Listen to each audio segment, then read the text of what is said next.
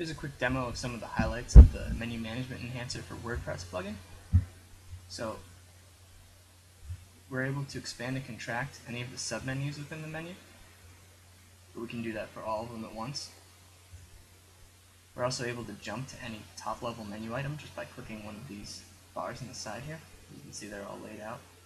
So we can jump straight down to top 6 or right back up to top 1 nice and easily. If we want to move something around, can just start dragging. Instead of having to drag all the way up, we just hold it over the one we want to go to. Brings us right up the top one and drop it off there. You can also contract things, move them around, and everything's still intact. So there's a bunch more features too. You can watch the full demo and walkthrough in the other video. And I hope you enjoy. Thanks.